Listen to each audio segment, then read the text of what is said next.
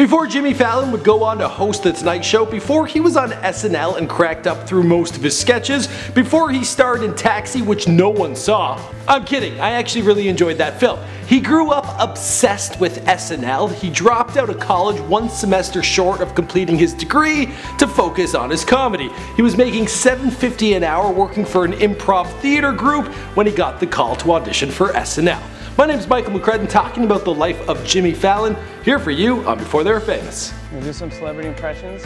Uh, this is a celebrity walkathon. She's like, swear to God, I mean, like, why isn't this a dance-a-thon? I mean, it's like walkathon, why can't I make it both? Like a dance and a walkathon.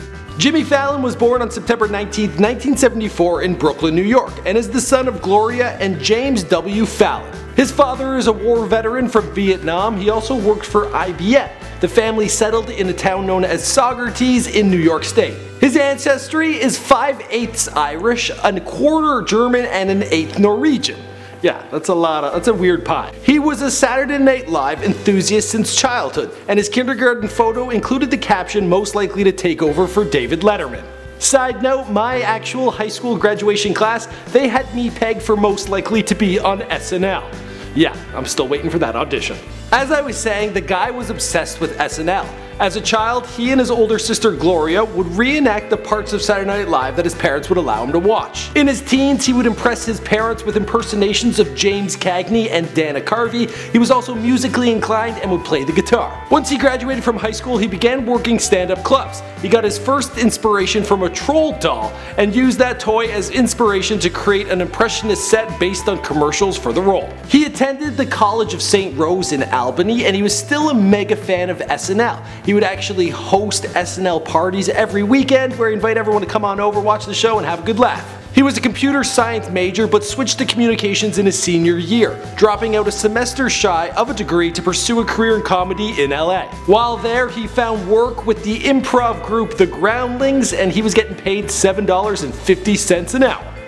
Yeah, not a lot of money. He did have some luck in LA. He appeared in the feature film The Scheme, originally titled The Entrepreneurs. He received one line in Father's Day which was cut out, but you could see him in the background. The same thing actually happened to me in Dumb and Dumber 2. Got a line, but you just see me in the background. He also appeared briefly on the show Spin City in the second season as a man selling photographs. Finally, he got the call to audition for SNL and he lit it up with impersonations of practically everybody. You know, my mom always told me to, uh, to get a lot of height, don't, to get some exercise. And so uh, she used to say uh, all the time, she'd say, why don't you go to the store with your mother? And I, and I would say, uh, I'd say, uh, why don't you shut up? As for the rest of the story, well you know the story, this is Before They Were Famous. My name is Michael McCrudden and I'm breaking down all sorts of celebrity biographies here on my personal channel, so be sure to browse, check out another one, Arnold Schwarzenegger, Russell Peters, I don't know, there's a few porn stars, all sorts of good stuff. Dan Bilzerian, that one's really popular. Check him out, also subscribe, share the channel with your friends, I'm growing this one rapidly, as quick as I can, and I'll see you guys in the next video.